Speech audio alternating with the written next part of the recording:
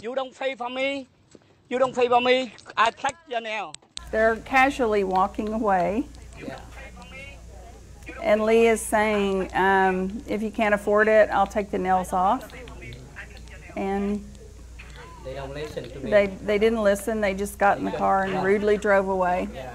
This video confrontation going viral between a Muskogee nail salon owner and two of his customers last week, right around closing time. So we're told that when the girls were finishing up getting their nails done, they were almost there, but when it came time to pay, they started to walk out. And that's when Lee pulled out his phone and started recording.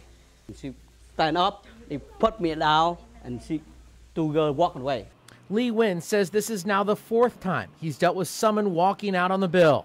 They come in late and they accommodate them, and then they run out on them. Uh, you know, this is how these young ladies make their living, and uh, that's just a true, that's just a real slap in the face. Wynn's loyal customers stepped in and took his video to social media. It was the right thing to do. Anybody in here that day, I think, would have done the same thing.